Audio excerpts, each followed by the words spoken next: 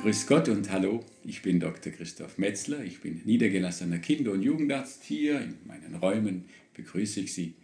Ich spreche gerne über die Themen, die in meiner Sprechstunde häufig vorkommen. Und ein Satz, den ich häufig am Tag höre, stört mich ein bisschen. Warum werde ich Ihnen gleich sagen? Es ist der Satz, das tut gar nicht weh.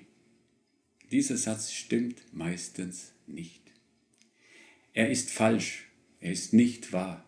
Und wenn wir darauf beharren, dass wir ihn weiter benutzen, dann machen wir uns unglaubwürdig. Das ist der Grund, warum ich die Eltern dann verbessere. Wenn zum Beispiel bei der Impfung die Eltern sagen, das tut nicht weh. Ich verbessere sie und sage, doch, der Piekser tut weh. Aber er ist nur ganz kurz und du wirst es aushalten, du wirst es sehen und ich werde dir dabei helfen.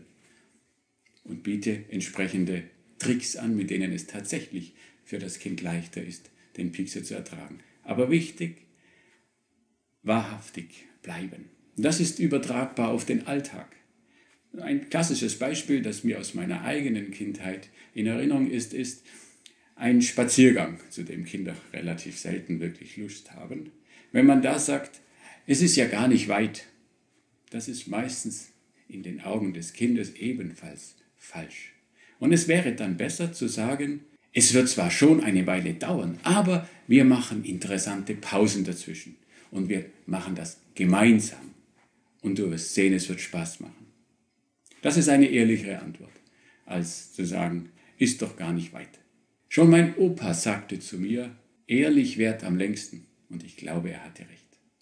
Das Impfbuch heißt, ein solches Heftchen sollte eigentlich jeder besitzen. Ich möchte Ihnen erklären, was es mit diesem Impfbuch auf sich hat, mit Ihnen einmal durchblättern, denn ich merke, vieles von dem, was da drin steht, wird überhaupt nicht verstanden und das wird besser sein, wenn Sie dieses Video gesehen haben. Zäpfchen.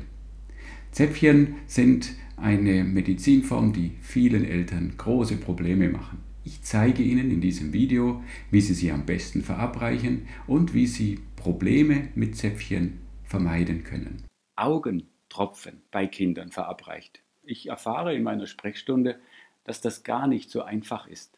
Vor allem bei den kleinen Kindern. Die wehren sich nämlich mit Kräften gegen die Augentropfen. Und wenn man sie häufiger geben muss, erst recht.